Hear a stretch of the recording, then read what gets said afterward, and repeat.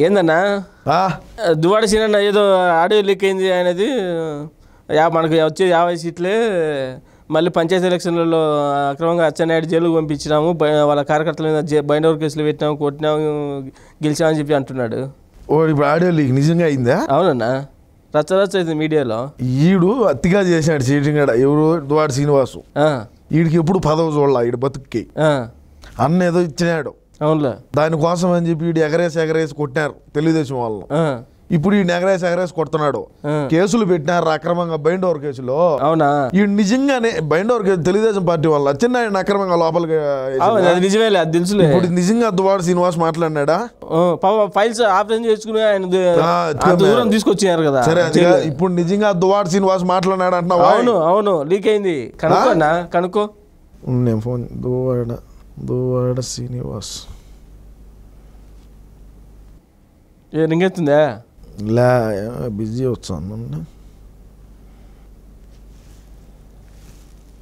అంతకు రచ్చరాజు ఏం పడింది ఆయనకు బయట పెట్టడం అదే కదా నిజంగా చెప్పినాడా మరి రింగ్ అవుతుంది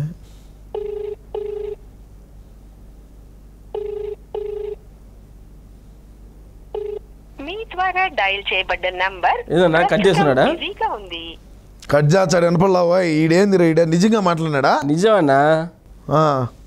మ- కాదన్నా, మనం- యాభై సీట్లే మనకు ఇప్పుడు వచ్చేది. యాభై సీట్ల మనకు మాకు తెలుసు లోపల మాకు సీట్లు వచ్చేది. నాకు తెలుసు మా అన్నకు తెలుసు మా వదినకి తెలుసు సలహాదాడికి తెలుసు.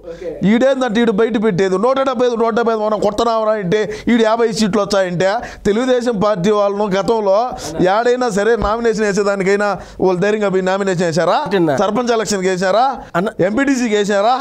అన్న. ఏ విధంగా రాజ్యం రాజారెడ్డి? రాజారెడ్డి రాజ్యాంగంతో ఎలక్షన్ నడిపించినాము. మేము అధికారంలో ఉండి. గెలిచలేం కదన్నా? అంబేద్కర్ రాజ్యాంగం ప్రకారం గెలిచాం. రాజారెడ్డి రాజ్యాంగంతో అయితేనే గెలుచాము అన్న. ఈసారి కూడా మనం ఓడిపోతామా అనేది మనకు తెలుసు.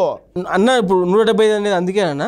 మనం ఒరే మనం లోపల భయపడతా ఉన్నాం మనం బయటికేమో పులులు మాదిరి సింహాల మాదిరి ఉండాలిరా.